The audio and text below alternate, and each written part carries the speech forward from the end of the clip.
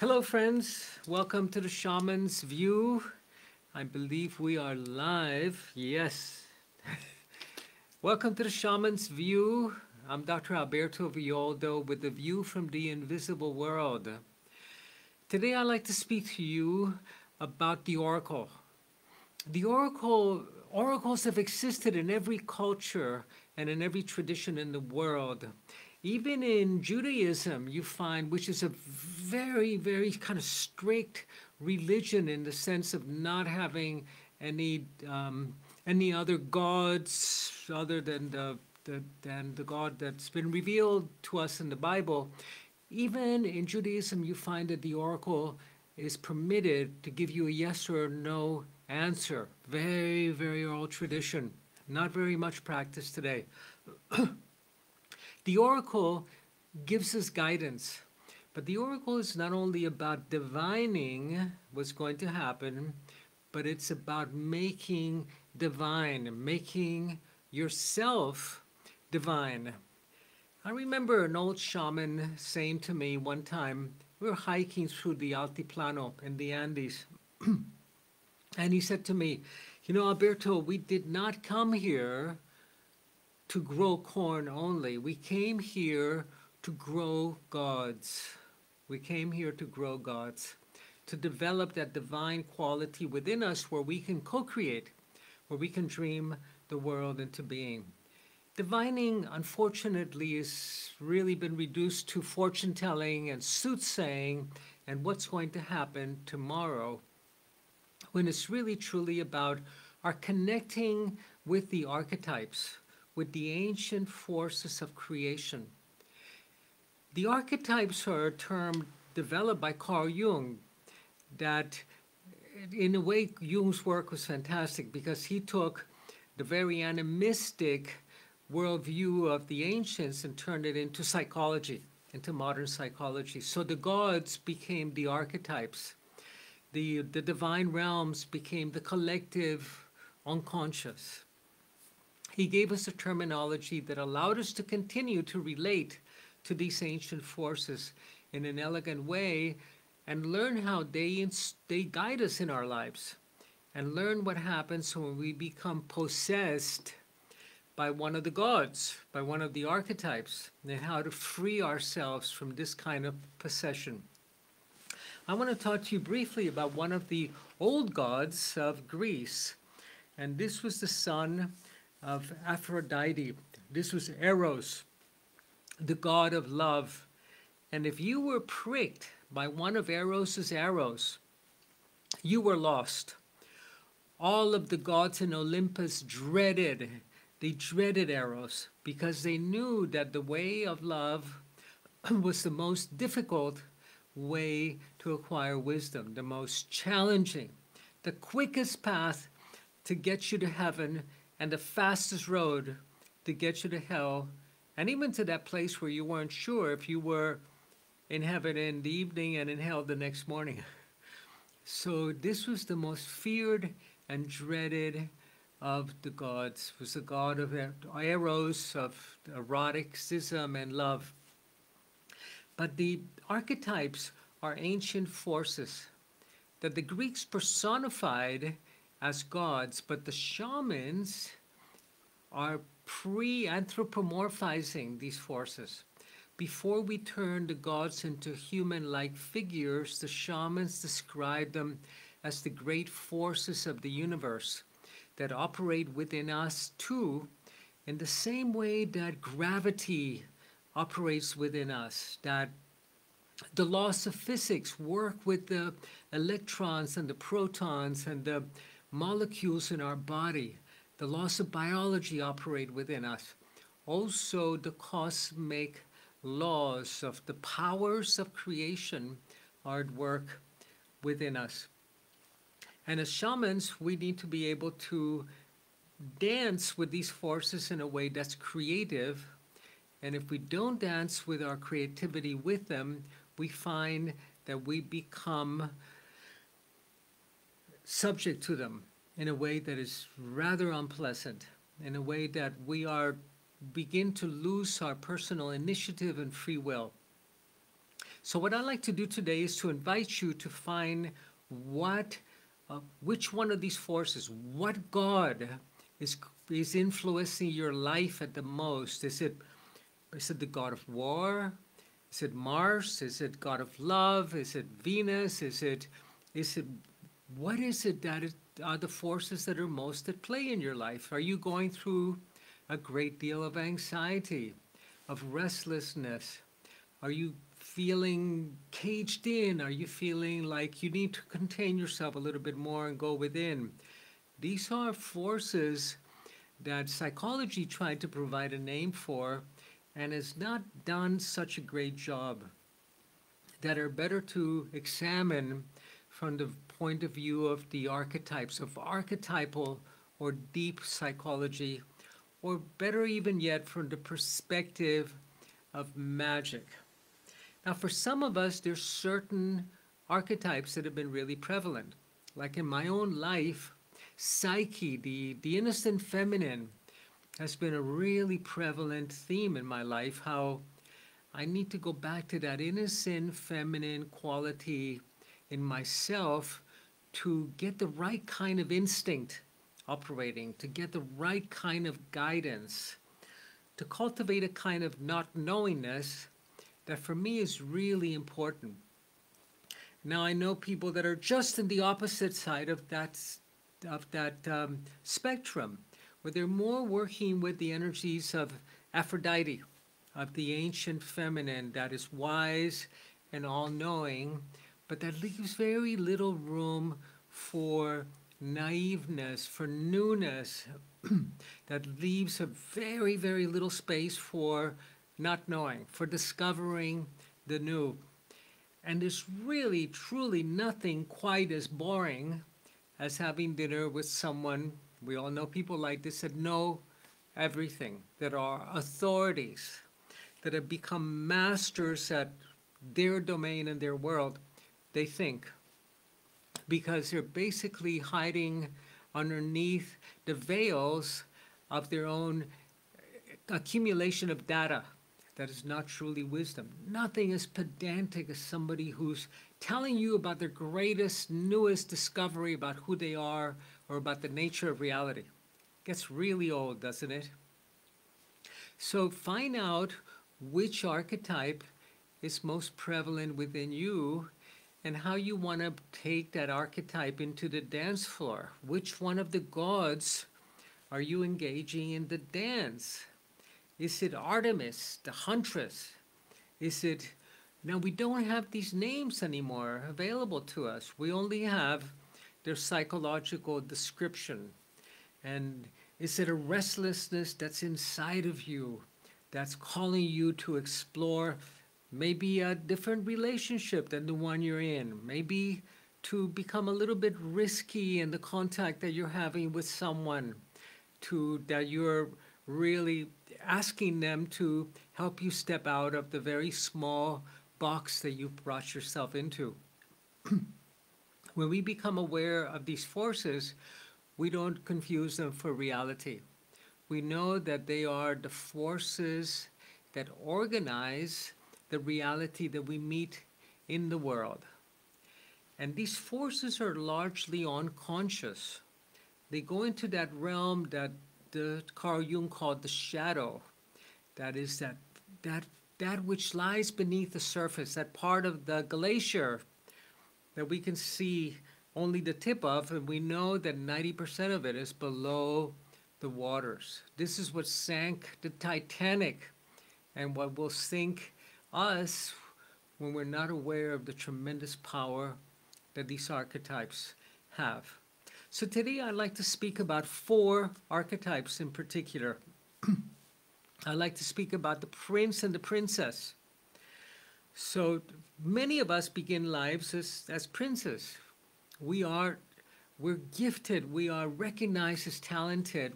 Things go well for us. We have good luck. And then we become attached to that archetype. The princess is one of the great archetypes. The seductive, the seductress, the one that can manipulate life and with her beauty, her power, her wit, and her youth. But princesses don't age very gracefully. You've got to become queenly. And that's a different, difficult archetype to transit through. How do you leave the princess to become the queen? And the queen is stately. The queen is regal. The queen has a beauty that is not the beauty of adolescence. It's the beauty of maturity and of years.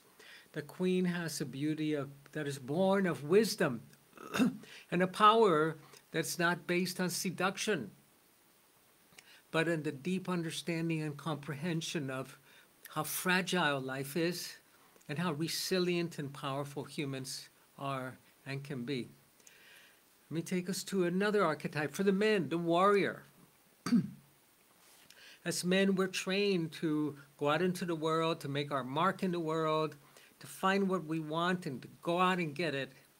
And we measure our success by how many heads we've taken, or how much money we've made, or how much fame or fortune, or how much we're recognized by the general, or by our bosses, or by daddy. And then we find that at the end of our lives, we've got the suit of armor on that we haven't let anyone know who we are for the last 20 years to the point that even we've forgotten who we are. and so the warrior must take the armor off, must put the sword down, must step out of the world of doing and step into the world of being. And if the warrior cannot do that, he will die. And this is not only the men, but remember, we have these are masculine and feminine archetypes that each one of us has a masculine and a feminine side, even if you are male or female. And the warrior is exhausted, and so many of us. We're so tired of trying to make our mark, whether it be through our social media presence or through our marketing videos or through our website or through that persona that we put in, put on in the morning, and that we have begun to believe is truly us. The warrior must put his sword down. Your inner warrior must stop looking for battles so that he can find meaning through victory, but begins to find meaning through defeat, to surrender. I surrender. And begins to understand that surrendering doesn't mean giving up. Surrendering means you have to stop controlling. You have to stop manipulating reality to try to get the outcome that you want to happen. In fact, the best way to get what you want to happen is by not doing anything to make that happen, but by being it and becoming it. I remember in the, my early days in the high Andes studying the shamans. I was a young medical anthropologist, and I was filming the shamans, and the young shamans were amazing to watch. They would have their feathers and their rattles, and they would take their feathers whew, and work on the person they were working with and healing. And then they would take the rattles and pass and then the old medicine people, I remember this old medicine woman, I was filming her and she was working on helping someone or healing someone, and she went, and I said to her, Would you mind doing that again so I can get another shot? She went, and I said, why, are, why don't you do like the young women do, the young men with the feathers and the rattles? And she says, ah, they do that because they're still learning. When you get really good, the old woman said, you don't even need to do that anymore. You just simply be, and life happens. This is such a difficult transit for that warrior that's accustomed to having things happen as a result of their effort, and they cannot stop efforting. The king, let's go to the king for a moment. We went from the princess to the queen. The warrior has to become the sage. The king has to become that card in the tarot, in the tarot deck called the Hierophant. The embodiment of wisdom. Otherwise, the king is only the ruler. It's only the one that is at the top of the ladder. Now, the problem with kings is that they always had to keep someone at their side to taste the wine and taste the food to see that no one was trying to poison them. And inevitably, you know that the younger masculine, that the prince, that was going to take your life, to take your place. And that if the fields were not fertile, that you would be offered a sacrifice, that you had to produce for the entire kingdom, for the entire family, for the whole household, for the whole company. It all depended on you, and the more talented you were, the more duty and the more responsibility and the more money that you got, but the less life force and the less heart that was in your life. So the king usually dies of loneliness or is poisoned by those closest to him.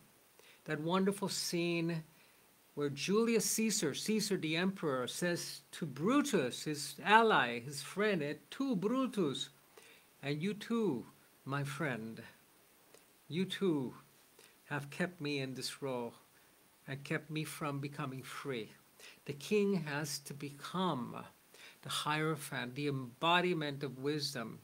Otherwise, that kingly part of ourselves, when it begins to get old, will try to exert increasing control to get the world to behave according to his will of your in own inner king and will result in harm for the entire kingdom.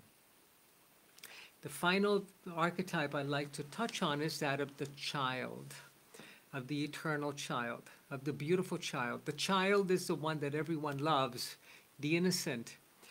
And this is the beauty of the great myth of Christianity is the arrival of the child, of the divine child that has come to redeem us. And the child is the one who becomes the father to the man, becomes the father to the mother, even. But the, the child has to go through the rites of passage, of maturing without losing innocence. And this is that inner child that we have within each one of us. We've all read the books and have heard about the inner child for decades to the point of, don't talk to me anymore about my inner child. But the inner child is the divine child that is born within each one of us and is born during the times of greatest difficulty, of greatest challenge. The inner child is not the result of a week of lovemaking in a beautiful island in the Pacific. the inner child is born in a manger, as in Christianity. born in a manger. It's born with the animals, it's born in nature. And it's the innocent. And it's a recovery of our innocence today of that divine child.